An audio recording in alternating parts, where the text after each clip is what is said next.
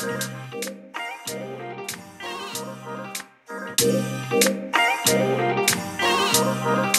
dirais que c'est avant tout de la rigueur, de la persévérance et beaucoup d'entraide au niveau des, des autres étudiants.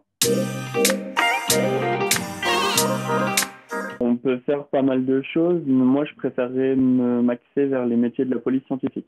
Mais oui, avoir la licence, ça peut vraiment nous aider à obtenir ce concours. Il euh, faut être rigoureux, minutieux, faut être autonome et avoir le sens de la réflexion. Sans, sans ça, c'est impossible de, de, réussir en physique. Alors oui, je travaille donc avec l'université.